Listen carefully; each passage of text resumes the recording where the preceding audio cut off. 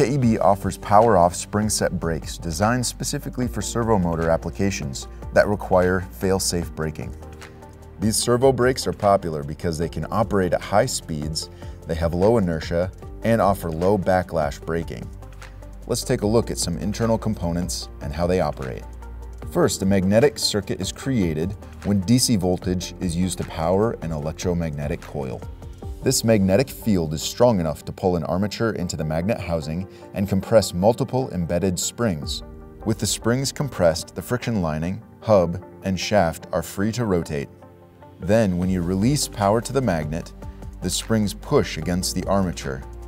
The friction lining is sandwiched between the armature and a secondary friction plate. Because the friction lining is connected to the shaft with a splined connection, the shaft stops rotating and is held in place.